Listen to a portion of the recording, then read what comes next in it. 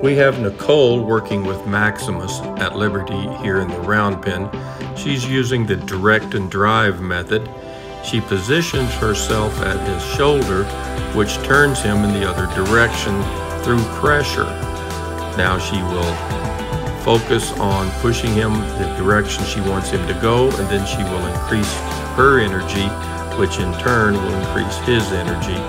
Never once will you see her touch that horse. It's all natural horsemanship.